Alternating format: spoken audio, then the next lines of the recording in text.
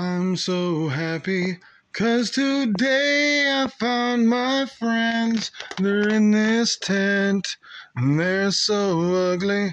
And that's okay, cause so are you. Broke our mirrors. Sunday morning is every day for all I care. And I'm not scared. Light my candles in a daze cause I found God. Yeah, yeah. Hey, thanks for joining me. I've got some work to do. So these bags have already fruited once. I want to show you what's going on. Oh, got a little tape on my glove here. All right. Hey, I missed a little during harvest. There's still some fruit growing on this bag. Got that coral tooth. So what I want to show you though is how I prepare this bag for flush number two and keeping contamination risk at a minimum. So check this out. You get yourself some cling wrap or you could even use some wide packaging, clear packaging tape. I know Diana down at Oak Haven does that. She showed me that technique. But you want to cover this bag, seal it back up again. Let's look at this one, for example. There was pioppinos growing off the top of this. Um, we ended up just fruiting right off the top. So I want to cover this back up.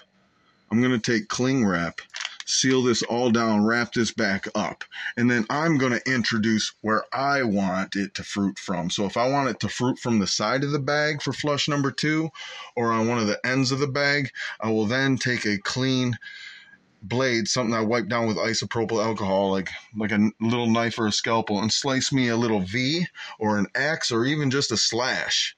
But you're giving it a point where it can now get um, the air hitting it, it's going to fruit. The humidity is going to cause it to start pinning from that spot that you introduced the environment to. So let me show you what I did with this bag down here. This was also Pioppinos. We got fruit off this one already. I went ahead and wrapped it with the cellophane. And I went ahead and put in an upside down V. So at this spot in here now, oh, here comes the fog. Let's watch it do its thing. You guys see all that? There we go. So that's kicking on. I'm about to step out of the tent and let it do its thing. But also, I got to go back and seal up these other bags. I just wanted to show you what I do, some of the processes that are involved in getting this ready for a second flush. Hey, get the max you can out of these bags. If done right, it's even possible to get subsequent flushes, a third one. I've even heard of people getting a fourth flush out of some of these. Hey, catch me next time. Did you subscribe yet? Peace.